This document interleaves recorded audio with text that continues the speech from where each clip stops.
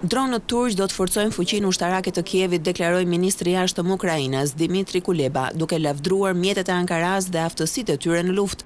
Ai foli për plane afatgjata dhe shpjegoi se në rrafshin strategjik duan të arrijnë dy gjëra, t'i pajisin dronët turq me motor ukrainas dhe ta lokalizojnë prodhimin e tyre në Ukrainë. Kievi ka blerë nga Turqia gjashtë dronë Bayraktar TB dy dhe tre sisteme kontrolli nga toka. Ndërkohë nga sa pohoi shefi i Shtabit të Përgjithshëm të Ushtrisë Ukrainase Kolonel Gjeneral Ruslan Komçak, Kievi po përgatitet të blejë edhe pesë dronë të tjerë Bayraktar. Dronët turq kanë fituar shumë popullaritet që prej përdorimit të tyre gjatë konflikteve në Siri, Libi dhe Azerbajxhan ku shënuan sukses të madh. Kuleba tha se Rusia po përpiqet me çdo mënyrë t'i pengojë vendet e tjera t'i shesin armë Ukrainës, pasi kërkon që vendi fqinj me të të jetë sa më i dobët ushtarakisht, në mënyrë që ajo ta ketë më të lehtë imponimin ndaj tij. Dronët do ta bëjnë të mendojë dy herë përpara se të planifikojnë ndonjë sulm në shkallë të gjerë ndaj nesh, deklaroi ministri, fjalët e të cilit nënkuptojnë se veprimi i fundit i Turqisë padyshim nuk është pritur mirë në Moskë.